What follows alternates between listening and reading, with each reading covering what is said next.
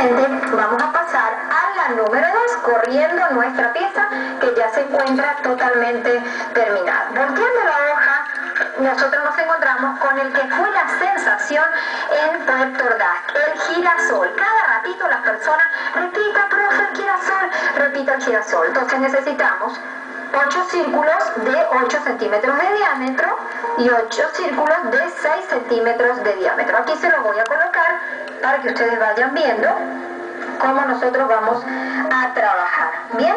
Ok, por supuesto para que salga el, completo, todo el paso a paso, lo tenemos adelantado. Una vez que nosotros tenemos todos los círculos preparados, vamos a doblar este a la mitad quedando un semicírculo y luego vamos a doblarlo nuevamente a la mitad, en la parte curva, donde quedan todas las piezas abiertas, es ahí donde usted va a hacer una basta con hilo de tapicería.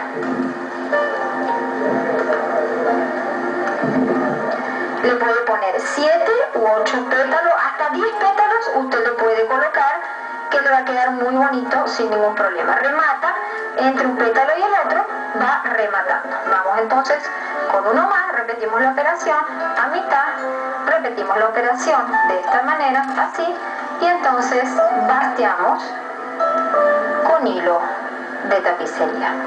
Para un jueguito de cocina, para hacer un materito para adornar el cuarto de las niñas, las lámparas. Bueno, en otros países esto es la moda, pero absoluta. De verdad que hemos recorrido y visitamos en internet las otras ferias y es impresionante. Qué bueno que no estamos atrás de la moda, qué bueno que Venezuela está al día con todo lo último de lo último gracias a todos los programas de televisión que nos apoyan.